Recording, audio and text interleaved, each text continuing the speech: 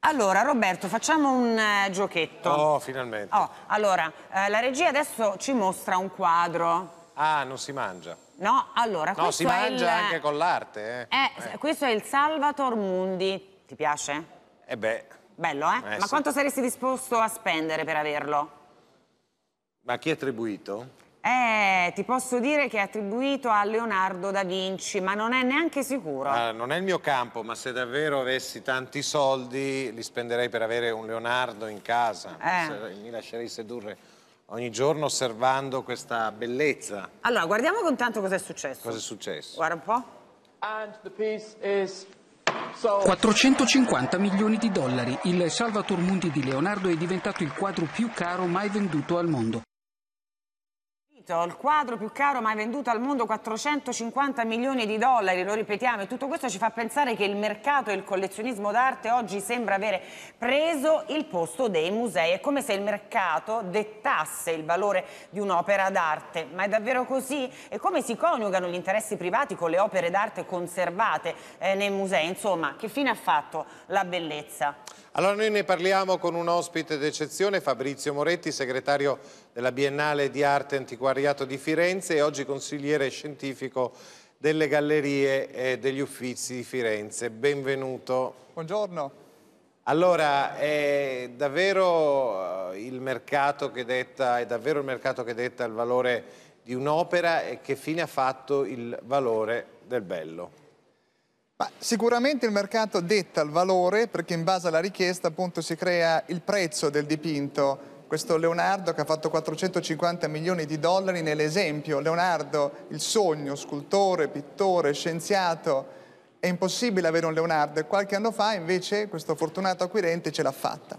Chiaramente esiste un altro tipo di valore che io adoro di più, che è quello intellettuale. Sono dei quadri che possono costare poco, ma che sono fondamentali per la storia dell'arte. Ecco, questi io prediligo e vorrei che appunto i nostri giovani anche imparassero ad apprezzarli. Ma la possiamo chiamare cacciatore di bellezza? Direi di sì. E, e dal mercato eh, dell'arte sei entrato poi di fatto nel mondo dei musei. Eh, la novità è che, sei, che è diventato consigliere scientifico. Eh, che allora, ruolo è? Che ruolo è consigliere? esatto, quale sarà il suo ruolo? Allora, sarà un ruolo molto interessante che per la prima volta i mercanti invece di essere scappati- eh, scacciati dal Tempio entrano nel Tempio, Esatto. che è quello appunto degli Uffizi, il museo Sì. più importante al mondo. È un onore per me eh, aiutare e mettere a disposizione appunto la mia competenza, appunto quella di mercante. Mi estraneerò appunto dalle competenze scientifiche perché i miei colleghi sono sicuramente più bravi di me, ma se posso aiutare i musei a vagliare i prezzi delle opere sarò più che contento nel farlo. Ecco, come si stabilisce il valore di un'opera d'arte? È interessante, si stabilisce dalla rarità, dall'autografia e dalla condizione, dallo stato di condizione. Allora, vogliamo ricordare questo, la Galleria degli Uffizi Eh contiene una delle più importanti raccolte di dipinti al mondo eppure continua ad acquistare opere eh, d'arte. L'ultima è quest'opera che adesso vediamo di Daniele da eh, Volterra. Allora, quanto è costata e dal suo punto di vista è giusto spendere per nuove opere? Cioè non sarebbe meglio sistemare e restaurare le collezioni eh, esistenti?